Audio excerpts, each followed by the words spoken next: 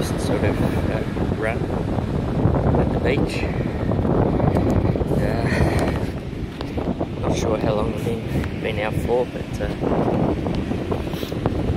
yeah, I'm uh, three bottle caps richer than when I started. A learning curve. I'm pretty happy with the way this uh, CTX 3030 works. Um, very impressed, in fact. be. Uh, that's an awesome feature.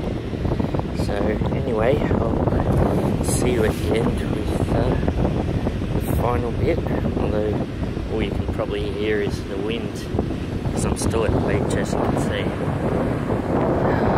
It's a lot better here than being at home. I tell you. Alright, I'll see you on the next.